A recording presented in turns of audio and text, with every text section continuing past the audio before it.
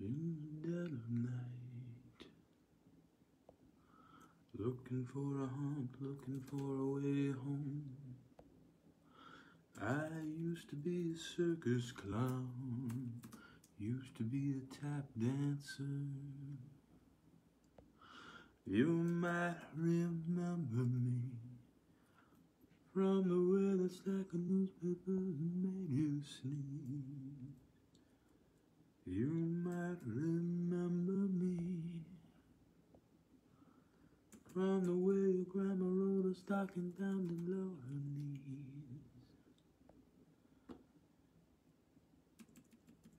I'm living beneath the stone. I'm really beneath you nose. I'm finding new ways to get my hands on solid things again. I'm really beneath the stone. I'm really beneath your nose. I'm finding new ways to get my hands on solid things again.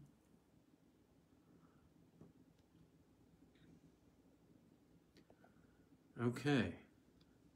Looks to me like I've just accidentally tagged my friend Can um, when I meant to mention her. Pardon, friend? Um, hey, I get to read from one of my favorite authors, a gentleman by the name of Manly Wade Wellman. Maybe you haven't heard any Manly Wade Wellman. Um, tend to enjoy his uh, serial tales of a man named Silver John. But this is a standalone called The Golgotha Dancers.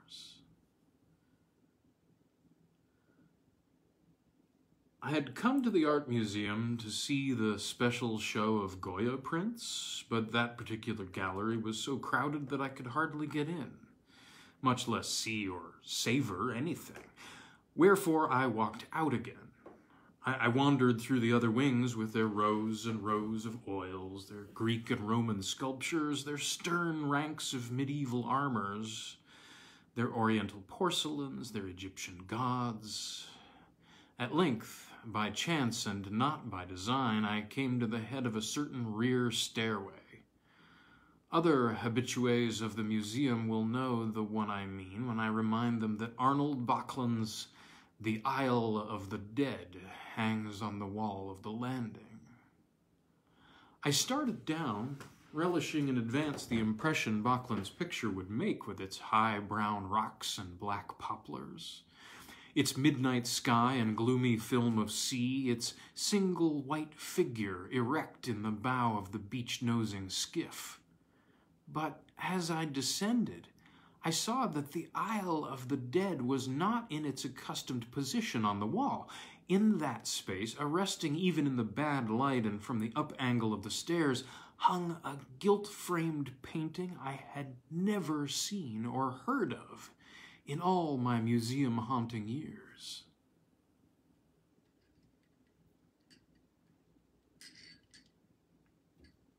I gazed at it, one will imagine, all the way down to the landing. Then I had a close, searching look, and a final appraising stare from the lip of the landing above the lower half of the flight. So far as I can tell, so far as I can learn, and, and I have been diligent in my research, the thing is unknown even to the best informed of art experts. Perhaps it as, is as well that I describe it in detail.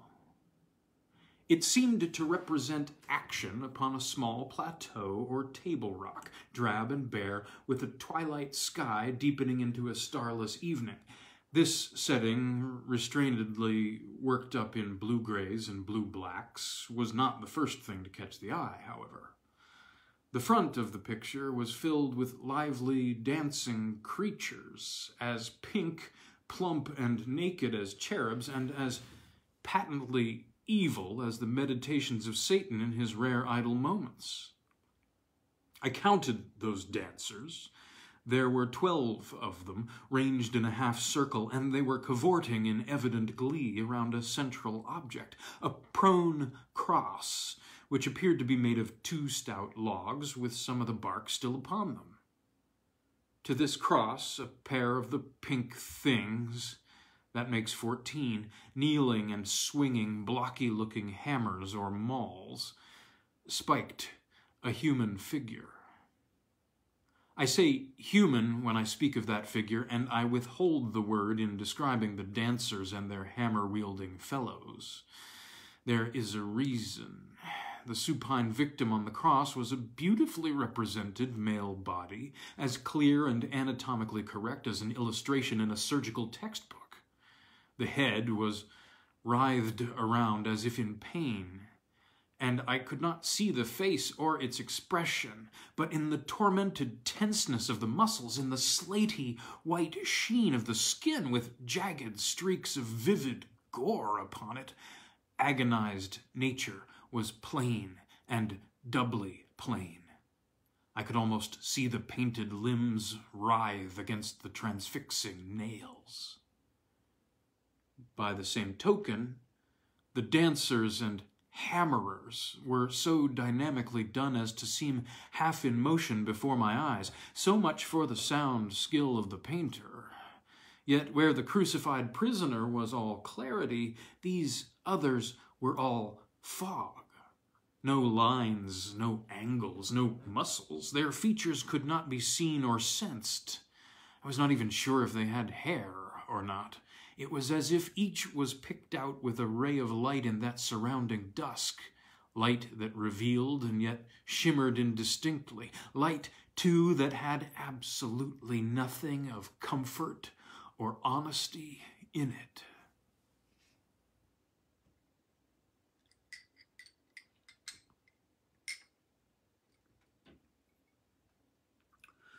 Hold on there, came a sharp challenge from the stairs behind me and below me. What are you doing? And, and what's that picture doing? I started so that I almost lost my footing and fell upon the speaker. One of the museum guards, he was a slight old fellow, and his thin hair was gray, but he advanced upon me with all the righteous, angry pluck of a beefy policeman. His attitude surprised and nettled me. I was going to ask somebody that same question, I, I, told him as austerely as I could manage. What about this picture? I, I thought there was a Böcklin hanging here. The guard relaxed his forbidding attitude at first sound of my voice. Oh, I beg your pardon, sir. I, I thought you were somebody else. Uh, the man who brought this thing. He nodded at the picture, and the hostile glare came back into his eyes. It so happened that he talked to me first, then to the curator, uh, said it was art, great art, and the museum must have it. He lifted his shoulders in a shrug or a shudder. Personally, I think it's plain beastly. So it was, I grew aware as I looked at it again. And the museum has accepted it at last, I prompted. He shook his head. Oh, no, sir. An hour ago, he was at the back door with that nasty daub there under his arm. I heard part of the argument. He got insulting, and he was told to clear out and take his picture with him, but he must have got in here somehow and hung it himself. Walking close to the painting, as gingerly as though he expected the pink dancers to leap out at him, he pointed to the lower edge of the frame. If it was a real museum piece, we'd have a plate right there with the name of the painter and the title. I, too, came close. There was no plate, just as the guard had said, but in the lower left-hand corner of the canvas were sprawling capitals. Pale paint on the dark, spelling out the word Golgotha. Beneath those, in small, barely readable script, I sold my soul that I might paint a living picture. No signature or other clue to the artist's identity. The guard had discovered a great framed rectangle against the wall to one side. Here's the picture he took down, he informed me, highly relieved. Help me put it back, will you, sir? And, and do you suppose Here he grew almost wistful. That we could get rid of this other thing before someone finds I let the crazy fool slip past me. I took one edge of the Isle of the Dead and lifted it to help him hang it once more. Tell you what, I offered on sudden impulse, I'll take this Golgotha piece home with me if you like. Would you do that? He almost yelled out in his joy at the suggestion. Would you, to oblige me? To oblige myself, I returned. I need another picture at my place. And the upshot of it was, he smuggled me and the unwanted painting out of the museum. Never mind how. I have done quite enough as it is to jeopardize his job and my own welcome up there.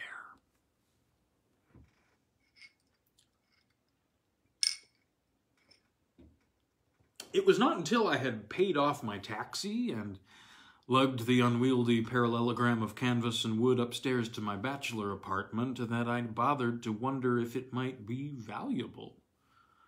I never did find out, but from the first I was deeply impressed. Hung over my own fireplace, it looked as large and living as a scene glimpsed through a window or perhaps on a stage in a theater. The capering pink bodies caught new lights from my lamp, lights that glossed and intensified their shape and color, but did not reveal any new details. I pored once more over the cryptic legend I sold my soul that I might paint a living picture. A living picture. Was it that? I could not answer. For all my honest delight in such things, I cannot be called expert or even knowing as regards art. Did I even like the Golgotha painting? I could not be sure of that either.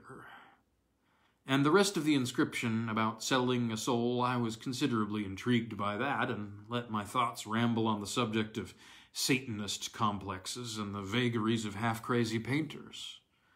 As I read that evening, I glanced up again and again at my new possession.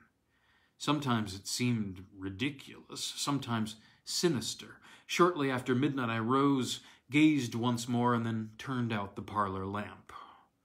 For a moment, or so it seemed, I could see those dancers. So many dim pink silhouettes in the sudden darkness. I went to the kitchen for a bit of whiskey and water, and thence to my bedroom. I had dreams. In them, I was a boy again, and my mother and sister were leaving the house to go to a theater where, think of it, Richard Mansfield would play Beau Brummell.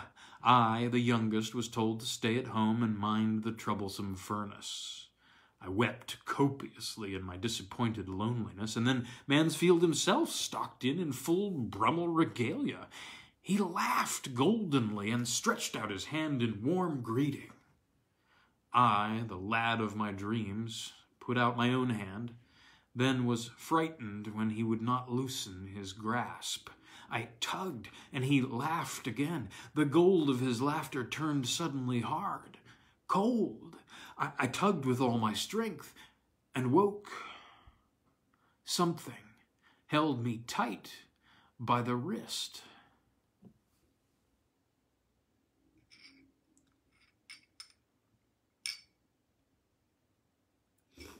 In my first half moment of wakefulness, I was aware that the room was filled with the pink dancers of the picture in nimble, fierce, happy motion. They were man-sized, too, or nearly so, visible in the dark with the dim radiance of foxfire. On the small scale of the painting, they had seemed no more than babyishly plump.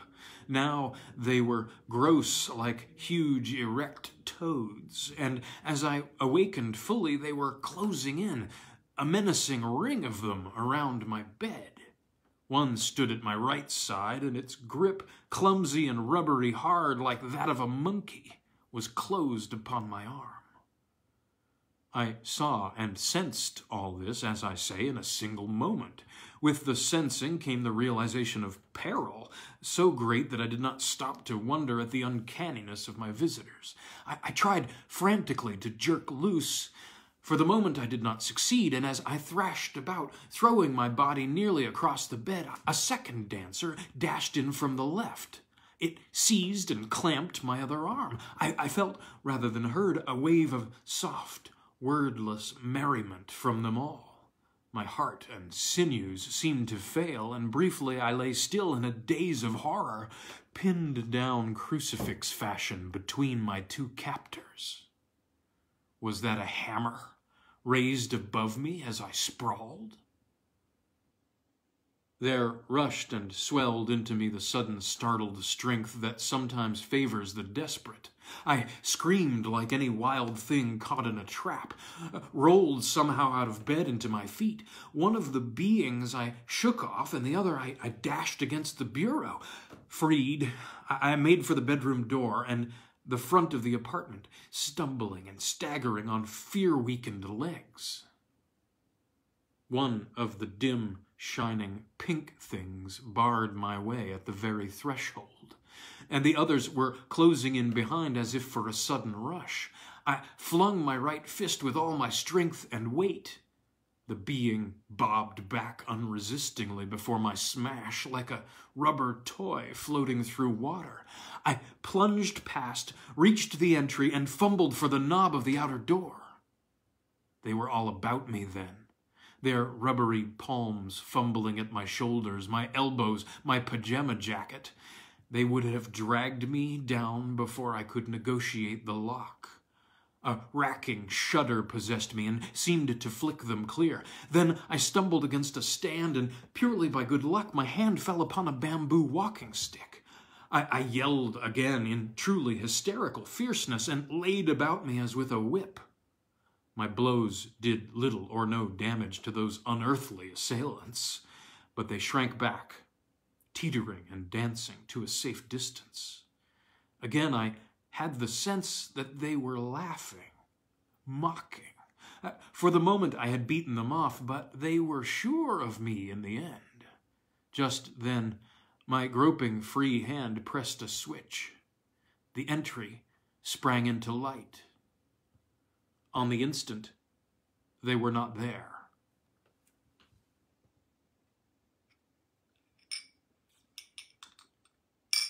Somebody was knocking outside. And with trembling fingers, I turned the knob of the door. In came a tall, slender girl with a blue lounging robe caught hurriedly around her. Her bright hair was disordered as though she had just sprung from her bed. Is someone sick? she asked in a breathless voice. I, I live down the hall. I, I heard cries. Her round blue eyes were studying my face, which must have been ghastly pale. You see, I, am a trained nurse, and, and perhaps.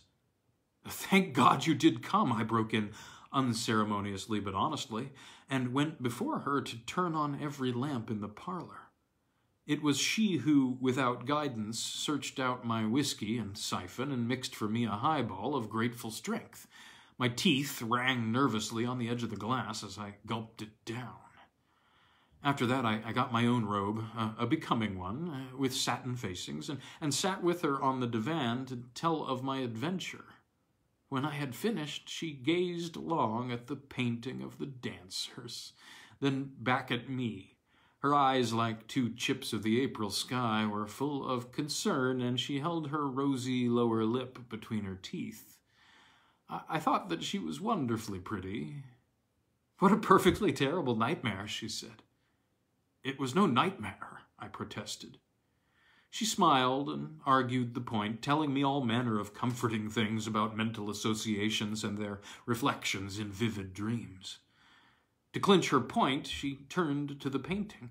This, this line about a, a living picture is, is the peg on which your slumbering mind hung the whole fabric, she suggested, her slender fingertip touching the painting scribble. Your very literal subconscious self didn't understand that the artist meant his picture would live on only figuratively. Are you sure that's what the artist meant? I asked, but Finally, I let her convince me. One can imagine how badly I wanted to be convinced. She mixed me another highball and a short one for herself. Over it, she told me her name, Miss Dolby, and finally she left me with a last comforting assurance. But nightmare or no, I did not sleep again that night. I sat in the parlor among the lamps, smoking and dipping into book after book.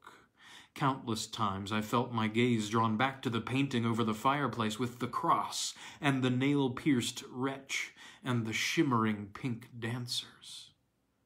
After the rising sun had filled the apartment with its honest light and cheer, I felt considerably calmer. I slept all morning, and in the afternoon was disposed to agree with Miss Dolby that the whole business had been a bad dream, and nothing more. Dressing, I went down to the hall, knocked on her door, and invited her to dinner with me.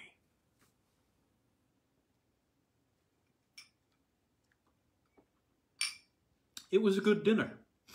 Afterwards, uh, we went to an amusing motion picture uh, with Charles Butterworth in it, as I remember. After bidding her good night, I, I went to my own place. Undressed and in bed, I lay awake. My late morning slumber made my eyes slow to close. Thus it was that I heard the faint shuffle of feet, and sitting up against my pillows, saw the glowing silhouettes of the Golgotha dancers. Alive and magnified, they were creeping into my bedroom. I did not hesitate or shrink this time. I, I, sprang up, tense and defiant. No, you don't, I yelled at them. As they seemed to hesitate before the impact of my wild voice, I charged frantically. For a moment, I scattered them and got through the bedroom door as on the previous night. There was another shindy in the entry. This time they all got hold of me like a pack of hounds and wrestled me back against the wall. I writhe even now when I think of the unearthly hardness of their little gripping paws. Two on each arm were spread eagling me upon the plaster, the cruciform position again. I swore, yelled, and kicked. One of them was in the way of my foot. He floated back unhurt. That was their strength and horror, their ability to go flabby and non-resistant under smashing, flattening blows. Something tickled my palm, pricked it, the point of a spike. Miss Dolby, I shrieked, as a child might call for its mother. Help, Miss The door flew open. I, I must not have locked it. Here I am, came her unafraid reply. She was outlined against the rectangle of light from the hall. My assailants let go of me to dance toward her. She gasped, but did not scream. I staggered along the wall, touched a light switch, and the parlor just beyond us flared into visibility. Miss Dolby and I ran into the lamp, rallying there as Stone Age folk must have rallied at their fire to face the monsters of the night. I looked at her. She was still fully dressed, as I had left her, apparently had been sitting up. Her rouge made flat patches on her pale cheeks, but her eyes were level. This time, the dancers did not retreat or vanish. They lurked in the comparative gloom of the entry, jigging and trembling as if mustering their powers and resolutions for another rush at us. You see, I, I chattered out to her, it, it wasn't a nightmare. She spoke not in reply, but as, but as if to herself. They have no faces, she whispered, no faces. In the half-light that was diffused upon them from our lamp, they presented the featurelessness of so many huge gingerbread boys, uh, covered with pink icing. One of them, some kind of leader, pressed forward within the circle of the light. It daunted him a bit. He hesitated, but did not retreat. From my center table, Miss Dolby had picked up a bright paper cutter. She poised it with the assurance of one who knows how to handle cutting instruments. When they come, she said steadily, let's stand close together. We'll be harder to drag down that way. I wanted to shout my admiration of her fearless front toward the dreadful beings, my thankfulness for her quick run to my rescue. All I could mumble was, You're mighty brave. She turned for a moment to look at the picture above my dying fire. My eyes followed hers. I think I expected to see a blank canvas, find that the painted dancers had vanished from it and had grown into the living ones. But they were still in the picture, and the cross and the victim were there too. Miss Dolby read aloud the inscription, a living picture. The artist knew what he was talking about after all. Couldn't a, a living picture be killed, I wondered? It sounded uncertain, and a, childish quibble to boot, but Miss Dolby exclaimed triumphantly, as at an inspiration. Killed! Yes, she shouted. She sprang at the picture, uh, darting out with the paper cutter. The point ripped into one of the central figures in the dancing semicircle. All the crowd in the entry seemed to give a concerted throb, as of startled protest. I swung, heart racing, eh, to front them again. What had happened? Something had changed, I saw. The intrepid leader had vanished. No, he, had not drawn back into the group. He had vanished. Miss Dolby, too, had seen. She struck again, gashed the painting representation of another dancer, and this time the vanishing happened before my eyes.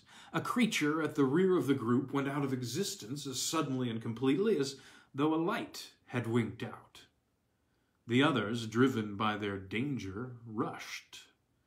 I met them, feet planted. I tried to embrace them all at once, went over backward under them. I struck, retched, wrenched, tore. I, I think I even bit something grisly and bloodless, uh, like fungoid tissue, but I refused to remember for certain. I refused to remember for certain.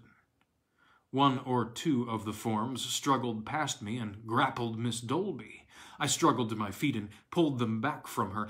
There were not so many swarming after me now. I fought hard before they got me down again, and Miss Dolby kept tearing and stabbing at the canvas. Again, again, clutches melted from my throat, my arms. There were only two dancers left.